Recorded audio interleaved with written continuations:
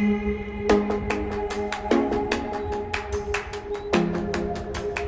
guys, welcome to my channel. I'm Charles Mantaghi and um, today we are going to be testing my mile time.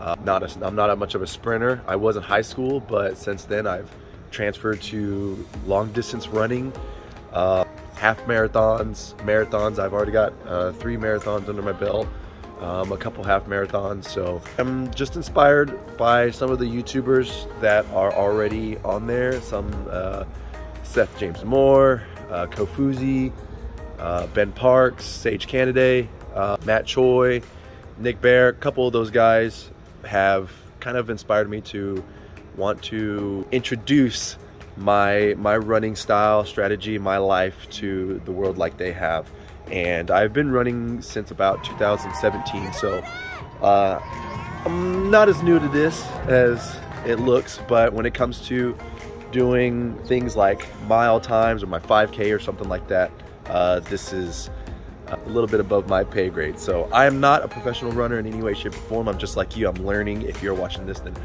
hopefully you are on that journey too as well. Um, so we uh, are here in Norman, Oklahoma, my hometown, and we are going to, we are at the uh, John Jacobs uh, Track and Field, which again, thank you to uh, OU for allowing me to use your track.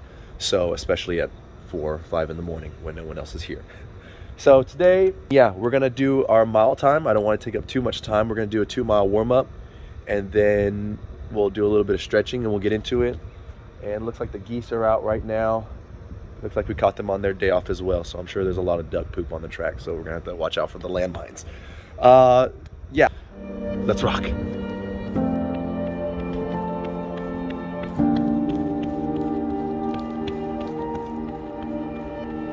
do have a side note that my fastest mile time actually is a 638 I think um, I my goal is to get under sub six and eventually my goal is to get under sub five. But being as realistic as possible, um, we are going to try for maybe a 530 and see how that goes. So we'll see you in a few. Here we go. Moment of truth. I'm actually pretty scared, but I mean, ain't nothing to it but to do it. You won't know until you try, right? So here we go. Oh my God, this is gonna suck especially that third lap. Okay, runners, to your mark. Get set, go.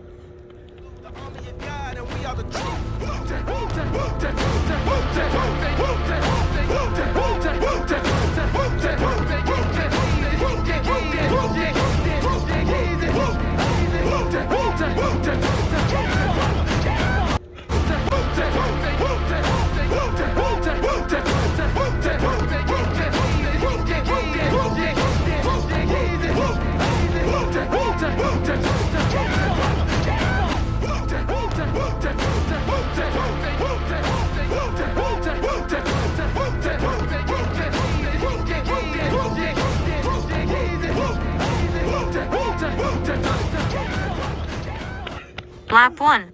5.30. Current pace. 5.15. I knew you had to hang on on that third mile or that third lap. Oh, that's when it was hitting me.